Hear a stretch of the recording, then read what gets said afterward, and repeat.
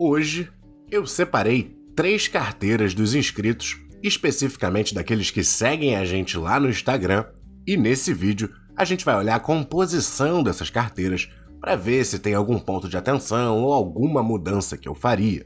Então, mesmo para você que não vai ter a sua carteira analisada, eu tenho certeza que esse vídeo vai te ajudar a pensar na sua própria alocação dos investimentos. E, se você quiser um dia ter a sua carteira analisada por mim, começa seguindo lá no Instagram, porque foi lá que eu fiz o convite para participar desse vídeo e quem não segue não teve nem essa oportunidade. Das carteiras que eu recebi para análise, duas foram montadas ali com stock picking, que é um pouco mais próximo do tipo de conteúdo que eu faço aqui.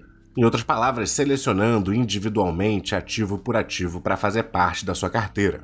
Como eu acredito que a maior parte do meu público siga esse tipo de estratégia, e portanto vai ser dessa parte que vocês vão poder aprender mais, eu vou deixar isso mais para o final. E vou começar analisando uma carteira ainda muito interessante, uma pegada aparentemente mais conservadora, construída em sua boa parte com ETFs. Aqui a gente tem a carteira, a gente vê logo de cara que 60% dela está aqui em ETFs globais, e aqui a gente tem 60% dos ETFs globais no VT, que resulta, em relação à carteira como um todo, uma alocação de 36% no VT. Ou seja, essa carteira já começa muito bem. Eu sei que são poucos vídeos que eu falei de ETFs aqui no canal, mas em um deles eu cito o VT como o mais conservador, o mais seguro para se investir. Isso por alguns motivos. Primeiro, é um ETF de fato global, que vai te dar exposição a quase todos os países. Tem uma taxa de administração muito baixinha, de 0,07% ao ano. Claro que quando a gente fala do VT, pela mistura de vários países, pela imensa diversificação, é talvez o ETF de menos risco. É um ETF de fato neutro, ou seja, com a exposição pautada no market cap das empresas e te dá exposição ao mundo todo. Também por isso a gente não espera tanto crescimento quanto talvez um ETF só de Estados Unidos mas é sem dúvida o mais conservador, uma ótima opção para ser a base da sua carteira, que é exatamente o que ele faz, tendo 36% da sua carteira alocada a esse ETF. Além disso, ele tem mais 12% no ETF VBR. Aqui a gente está falando de um ETF da Vanguard focado em small caps de valor, também com uma taxa de administração bem pequenininha. E considerando que a base dos ETFs globais dele vai estar tá aqui no VT mundial, Acho muito inteligente da parte dele fazer esse tipo de estratégia do factor investing, né, que é essa seleção de ETFs através de fatores. Então ele cria uma base neutra e em cima disso vai colocando seus fatores favoritos. Começou com as small caps de valor, tem um pouco de ISVL, esse agora da BlackRock, esse com uma taxa de administração um pouco mais alta, tá, de 0,3%. Esse SVL com 7,2% da carteira. Aqui no ISVL, ele continua tendo um foco num mesmo fator, que é small caps de valor, né? Então um pouco mais baratas, só que dessa vez aqui nos mercados desenvolvidos fora os Estados Unidos. Então ele tem a base mundial, vem com o VBR para as empresas small caps de valor americanas, tem uma exposição a small caps de valor de outros mercados desenvolvidos e mais 4,8 nesse Aves, e esse, por sua vez, complementa com os small caps de valor dos mercados em desenvolvimento. Então a parte de ETFs globais muito bem montadinha, bem redondinha, sem muito overlap de posições. Né? Ele tem a base global dele e vai dando um peso maior ao que lhe atrai. Sendo isso 60% da carteira, já dá para ver que ele está começando muito bem. Quando a gente vem para os ETFs de renda fixa, aí a gente pode começar a ter algumas críticas. Mas daqui a pouco eu chego lá.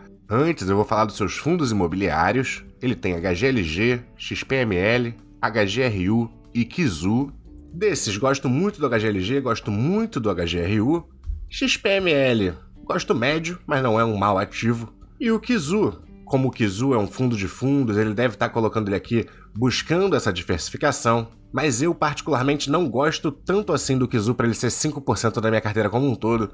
Então, eu talvez reduziria o Kizu, mas não é um ativo péssimo, não precisa sair correndo, não precisa se desesperar. É só para ser sincero com a minha opinião sobre os ativos aqui presentes. E ele coloca 10% da sua carteira aqui no que ele chama de apostas. Dessas, ele tem esse ativo SMH. E aqui a gente está falando de mais um ETF, dessa vez da VanEck. E é um ETF que investe em empresas de semicondutores. Ele se baseia no índice MVIS US, contando com 25 empresas. Ou seja, ele acaba investindo nas 25 maiores empresas baseadas no market cap que são listadas como empresas de semicondutores. Então aqui a gente tem um ETF setorial num setor que de fato é muito bom. E quando a gente vem ver os holdings dele, a maior parte desse ETF está aqui, 20, quase 25% dele apenas na Nvidia. Outros 12% na TSM, a gente tem Broadcom, a gente tem Qualcomm, a gente tem a Texas Instruments, a SML, muitas empresas boas, a grande maioria das empresas aqui de ótima qualidade e, obviamente, num setor que é cada vez mais necessário para o mundo. Então eu nem consideraria esse SMH uma aposta. Eu acho que ele poderia entrar aqui junto com os ETFs globais na categoria que ele fez. E em criptomoedas, ele tem 2,5% em Bitcoin, maravilhoso, 1% em Ethereum, e aí ele tem essa OND e essa cara. Essa cara eu nem encontrei, eu fui pesquisar, não consegui achar qual é. E a OND é essa OnePad que eu não conhecia até esse vídeo aqui, mas que é basicamente uma blockchain que busca conectar as marcas que querem anunciar através dela com as pessoas que criam conteúdo para a Web 3.0. Como as criptomoedas em si já são muito arriscadas, eu prefiro não entrar nessas muito pequenininhas, que são muito novas. Eu gosto, mesmo nas criptomoedas, de umas coisas um pouco mais sólidas. Então, na minha carteira não teria espaço nem para essa OND, nem para essa CAR. Mas é uma alocação bem pequena perante o todo, mesmo somadas dão aqui 1,6%, então a área que está de fato num risco enorme da carteira dele é pequena, não é um problema. Se ele acredita na tese, acha interessante, não tem por que tirar, tá super válido. Agora eu quero falar da parte de renda fixa dele. Ele tem uma parte de ETFs de renda fixa nos Estados Unidos, que vai incluir ambos TFLO e SHY acompanham títulos de curto prazo, então acabam tendo funções bem parecidas, mas sendo mais específico, o TFLO vai acompanhar a taxa de juros flutuante dos Estados Unidos e o SHY vai pegar os títulos do Tesouro com vencimento até 3 anos, então ali mais curto prazo. E nos casos do ETF da renda fixa, ele tem o B5P211, que é um ETF que acompanha uma variação do IMAB. Basicamente, são os tesouros diretos IPCA+, com prazo inferior a 5 anos. Aqui o número está errado, tá? São 4% se a gente fizer a conta, não 16, desse CDI pós-fixado, imagino que seja um CDB pós-fixado atrelado ao CDI. E aí ele vem com IB5M11, que é uma outra variação do IMAB, também do Itaú, o IMAB 5+, que vai ser o IMAB apenas para os títulos com prazo igual ou maior do que 5 anos. Como ele tem os dois, ele até pode manter dessa maneira, mas também dá para consolidar os dois num IMAB 11, por exemplo, que vai só copiar o IMAB de uma vez. Acho que fica um pouco mais prático, mas não faz muita diferença. Ele vai ter também aqui o IRFM, que aí vai ser um ETF também do Itaú de renda fixa pré-fixada. E aqui entra a minha principal e talvez a única crítica a essa carteira, que é que a exposição de renda fixa dele é toda através de ETFs. Quando você está no ETF, você não tem a estabilidade que a gente espera da renda fixa. Mesmo sendo um ativo que investe em renda fixa, ele vai ter a oscilação. A gente vai ver variação da cota conforme as coisas forem acontecendo, a marcação a mercado pegar os seus títulos. Então, para uma carteira que já é muito voltada para ETFs, eu preferiria não ter ETFs de renda fixa. Eu, particularmente, ia preferir ir montando aos poucos a minha própria carteira no Tesouro Direto, de maneira que você sempre tenha ali anualmente pelo menos um vencimento, mas que você não tenha essa exposição à volatilidade que a gente vai ter no ETF. Claro que o Tesouro vai ser afetado pela marcação a mercado, mas é só você esperar ele ir até o seu vencimento que você vai receber o combinado. Então acaba achando uma forma mais interessante da gente se expor à renda fixa no Brasil do que através desses ETFs, apesar de que eu gosto sim do IMAB, acho um ótimo índice, acho válido investir nesses ETFs, Mas como de CDB, CDB mesmo, ele fica só com 4% da carteira, né, que são esses 25% dos 20% que ele classificou como ETF de renda fixa, aqui está dando 16, mas está um cálculo errado, porque 25% de 20% dá 4, então 4% nesse CDB é bem pouco, por um nível de conservadorismo que essa carteira aparenta ter devido à base no VT, eu acho que poderia fazer sentido trazer um pouco mais de renda fixa tradicional sem ser através de ETFs. Fora isso, a carteira está muito bem pensada, parece muito redondinha, acho que vai ser um ótimo investimento para o longo prazo. Tá gostando do vídeo? Não esquece de dar aquele like, se inscrever no canal, deixar aqui embaixo um comentário. Se gostar muito, lá no Apoia-se você pode fazer sua doação e também é por lá que você garante acesso ao nosso site de valuation. Te convido a visitar. Mas vamos aqui então para a próxima carteira. Essa sim já mais do jeitinho que a gente gosta, bem voltada para os ativos que ele escolheu Primeiro, uma visão de cima, é uma carteira 40% em ações brasileiras, 33,4% em ações americanas e 26,3% em renda fixa. Já começa muito bem. Quando a gente fala de renda fixa, aqui nesse caso a gente já não está falando dos ETFs, 26,3% na renda fixa. Claro que isso vai variar de acordo com o apetite de cada um, eu não estou aqui para criticar o apetite de ninguém. E vale ressaltar que eu gosto dessa estratégia de ter bastante ativo internacional, quase tanto quanto tem no Brasil, até porque, quer queira, quer não, a gente acaba podendo ter um pouco mais de confiança nos ativos lá dos Estados Unidos do que aqui no Brasil. Mas vamos aqui olhar a sua carteira direto aqui no Brasil, as ações brasileiras que ele tem. A maior fica sendo a Engie, com 14,2%, nada de ruim a falar sobre ela. A segunda maior é a PetroRio, com 13,2%. Gosto muito da PetroRio, mas vale ressaltar que ele tem também a 3R Petróleo, com mais 6,6% da carteira dele. Então totaliza quase 20% em petroleiras júniors. Como ele tem bastante empresa internacional, isso não é um problema, mas eu ficaria de olho, daria uma segurada, pararia de comprar essas petroleiras no momento. Aí ele tem também Banco do Brasil, maravilhoso, BTG Pactual, um bom banco, já falei um pouco dele, se não me engano, do vídeo da Itaúsa, uma competição mais direta com a XP, não é um modelo de negócios tão similar aos grandes bancos, mas ainda assim interessante. Vivo, Alupar, BB Seguridade maravilhosa. E aí ele tem três empresas aqui atreladas ao agronegócio, a Kepler Weber, a Agro 3, a Brasil Agro, e a Vamos, que é a locadora de caminhões, mas aí é um modelo um pouco diferente. Então, apesar de ser bem independente do agro, dá para a gente pensar como sendo um outro negócio. E a Unifique aqui fazendo um peso junto com a Vivo no lado de telecomunicações. De todas as empresas aqui, não tem nenhuma que eu fale eu não gosto. A 3R eu tenho um pezinho atrás, não teria na minha carteira, mas não vejo nenhum grande problema com ela. Essa carteira está bem sólida, bem redondinha, bem diversificada. Acho só que pode dar uma desacelerada, deixar para comprar outras coisas, deixar de lado um pouquinho as petroleiras júnior. E acho também que tem espaço, caso a pessoa queira, de colocar alguns outros setores. Dá para a gente entrar, por exemplo, com o setor de saúde, que ainda não tem nada aqui. Então, olhar uma Fleury ou uma Ipera, por exemplo. Mas, ótima carteira, ótima carteira. Nem tenho críticas a fazer. Vamos agora para a parte lá nos Estados Unidos. E aqui, mais uma vez, uma carteira bem interessante. A gente vê que a maior parte dela, 10,8% das stocks, estão em Microsoft, 10,7% em Apple, mais 12,3% no Google, 10,1% na Amazon.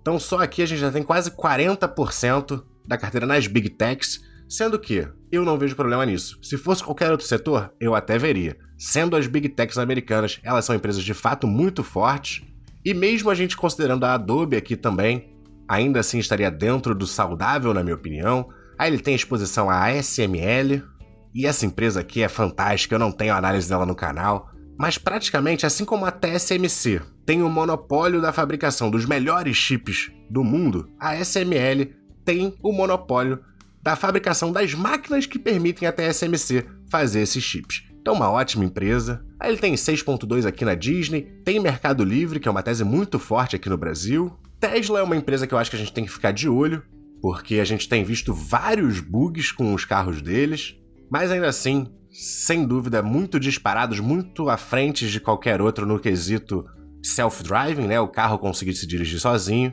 mas a gente tem que ver como ela vai se comportar com essas novas ondas de competidores chegando aí. Se bem que lá nos Estados Unidos já está havendo um protecionismo, como eles costumam fazer, sobre a própria indústria, então não acho que vai ser um mau investimento.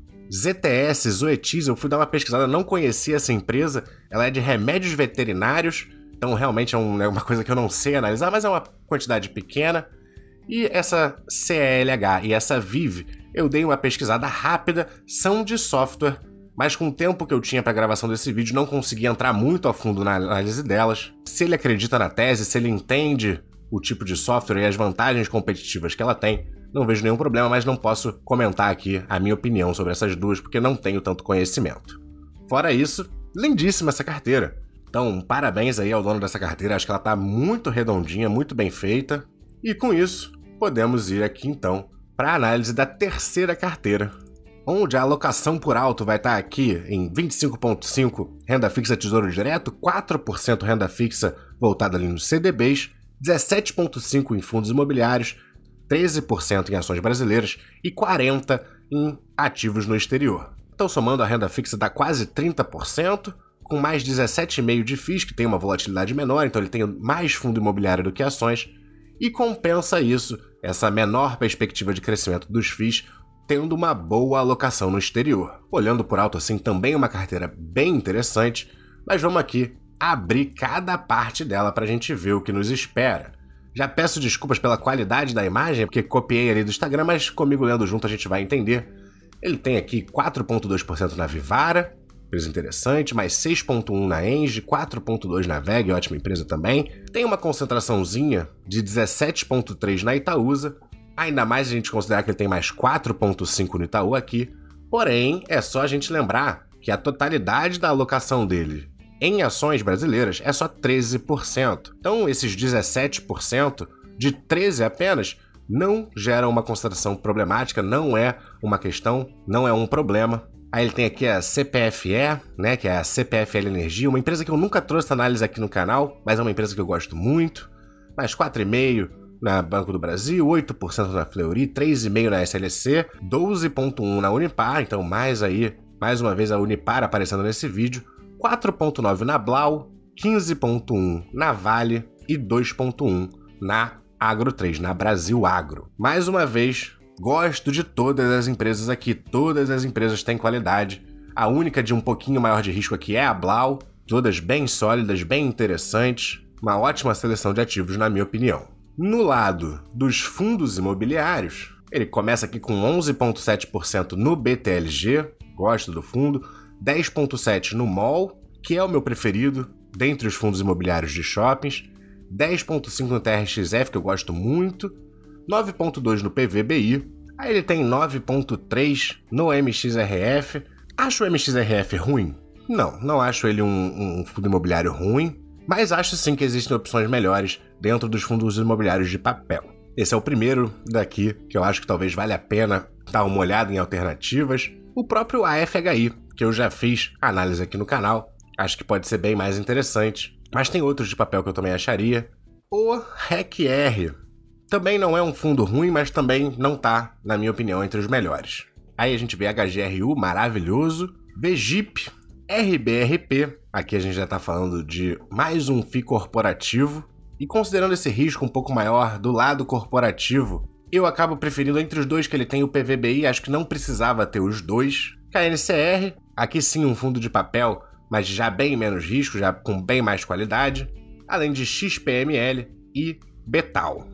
E quando a gente chega aqui no BTG Agro, mais um fundo desses aqui que eu não sou muito fã. Aliás, tanto os Fiagro como os fundos imobiliários mais atrelados ao agro têm se comportado ultimamente, algumas garantias estranhas, várias coisas estranhas acontecendo. Eu não sou tão fã desse setor. O único que eu deixaria passar é o RZTR. Então, o que eu tenho para te dizer? Sua carteira de tijolo está muito bem construída, muito bem construída. No lado de papel, acho que vale a pena você ainda dar uma estudada em algumas coisas. Acho que tem espaço para repensar o RECR e o MXRF. Mas não são maus ativos, não são ativos péssimos que você tem que sair correndo, não precisa ter nenhuma ansiedade, não precisa fazer as coisas com pressa. No geral, a sua carteira está sim muito boa. E por final, vamos dar uma olhada aqui na sua exposição às ações no exterior. 7,6% na Amazon, 13,5% no Google, 3,9% na Home Depot, 15% no IVV, que é o ETF direto do S&P 500, 6,6% na Qualcomm, ótima empresa, 15% no QQQ, que é o ETF da Nasdaq. Essa tech aqui é a Biotechne, não conheço muito da empresa para poder avaliar. Visa, maravilhosa, tem nem o que falar de ruim da Visa, uma das melhores empresas que a gente tem nos Estados Unidos. E a Accenture, não sou um profundo conhecedor da tese, não sei direito o que ela faz, mas quando a gente olha receita, lucro líquido e fluxo de caixa, a empresa tem mostrado um crescimento, parece bem redondinha, pelo menos no lado financeiro, e ele tem aqui um pouquinho, 2,8% nessa CBCO, que é a Cavico Industries, que tem uma parte financeira, mas tem uma parte de casas construídas por fábricas. Que são essas casas pré-fabricadas, mas não a casa pré-fabricada que a gente conhece no Brasil, porque algumas vão ser montadas na hora ali, mas é uma alternativa mais barata de se morar, então tem uma tese interessante considerando o preço dos imóveis dos Estados Unidos. Então, apesar de não conhecer profundamente a empresa, me parece uma tese interessante. A única questão que eu vejo aqui é que, considerando que ele tem 40% do seu portfólio total nessa parte aqui de ativos do exterior, e dessa parte, 20% são o Facebook, a gente chega aqui a 20% desses 40%, ele tem 8% do seu portfólio como um todo na meta, né, no Facebook. Dependendo do momento que ele comprou, e de fato no último ano é, uma, é um ativo que subiu bastante, talvez ele tenha comprado quando estava mais barato, e aí está aproveitando essa alta, mas 8% num único ativo já começa a me incomodar quando é perante o portfólio inteiro. Então, a única crítica que eu faria nessa exposição ao exterior é que me parece que está um pouco grande em meta, não por ser 20% da alocação no exterior, mas por ser 8% do portfólio como um todo. Então, eu provavelmente diminuiria aos poucos a posição aqui. Bom, não entrei super profundo, não fiz novos gráficos baseados em setor, como eu fiz no primeiro vídeo de análise do carteira, porque eu queria trazer três carteiras de uma vez só aqui para vocês. Espero que vocês tenham gostado do vídeo. Não se esqueçam de seguir a gente lá no Instagram, de deixar o like, de se inscrever. Muito obrigado por assistir até aqui. Bons investimentos e até a próxima!